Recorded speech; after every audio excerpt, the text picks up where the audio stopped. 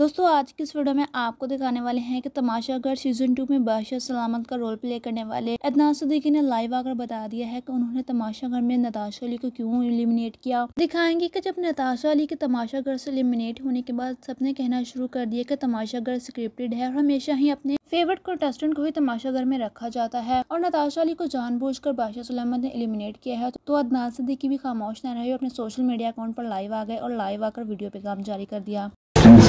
एक जैसे हैं। तो मैं किसी के लिए बायस नहीं होता हूँ। अक्सर अक्सर मुझे फील आ रही होती है कि बादशाह बायस है।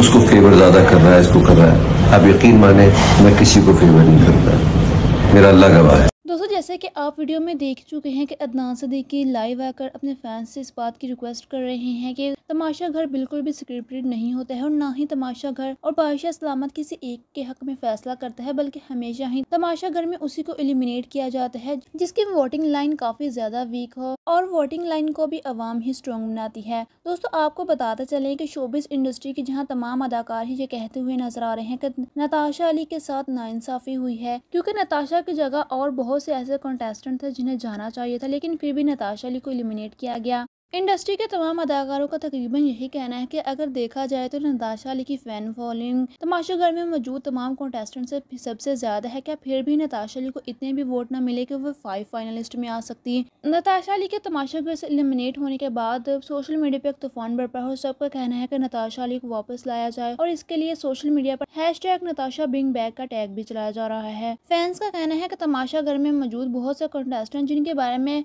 आवाम भी अच्छी राय नहीं रखती है और साथ ही साथ कुछ तो ऐसे हैं जो कि बिल्कुल न्यू फेसेस हैं, लेकिन फिर भी अदाकारा नताशा अली को तमाशागर से निकाल कर साफ़ ये नज़र आ रहा है कि तमाशागर स्क्रिप्टेड है। लेकिन दोस्तों, आपको बताते चलें कि तमाशागर से तमाम एलिमिनेटेड कंटेस्टेंट और यहाँ तक कि बादशाह सलामत भी अपने मुँह से कहते हुए नज़र आते हैं कि तमाशा घर बिल्कुल भी स्क्रिप्टेड नहीं है, बल्कि जो भी होता है वो सब कुछ नेचुरल होता है। और कंटेस्टेंट का रिएक्शन भी नेचुरल होता है, लेकिन फिर भी लोग ये कहते हैं कि तमाशा घर स्क्रिप्टेड है। दोस्तों, आपको तमाशा घर के हवाले से वीडियो कैसी लगी? अपनी राय का जहाँ कमेंट सेक्शन में ज़रूर कीजिएगा। अपना बहुत सारा ख्याल रखिएगा। अल्लाह हाफिज़।